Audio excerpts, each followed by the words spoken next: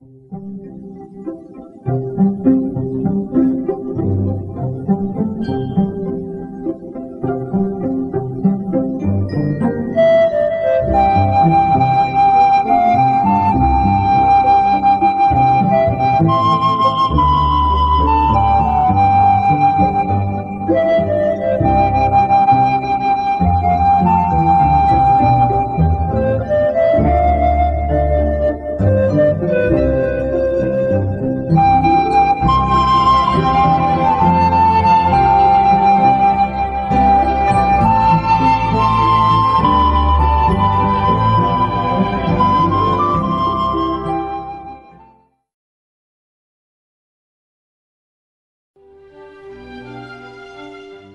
I anđelu Tijatirske crkve napiši, tako govori Sin Boži, koji ima oči svoje kao plamen ognjeni i noge njegove kao mjed.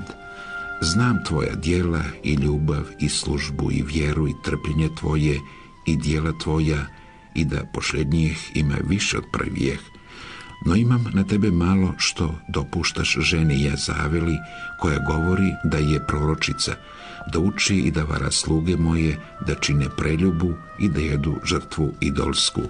I da dok joj vrijeme da se pokaje od kurvarstva svojega i ne pokaja se. Evo je ja mećem na odar i one koji čine preljubu s njom u nevolju veliku, ako se ne pokaju od svojih dijela.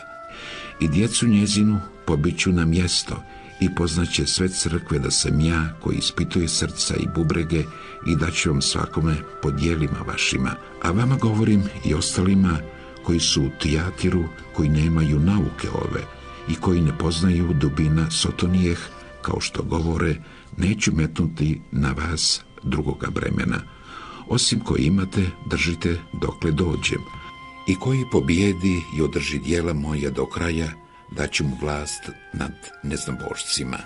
I pašće ih s gvozdenom palicom, i oni će se razdrobiti kao sudovi lončarski, kao ja što primih od oca svojega, i daće mu zvijezdu danicu, koji ima uho da čuje, neka čuje šta govori duh crkvama.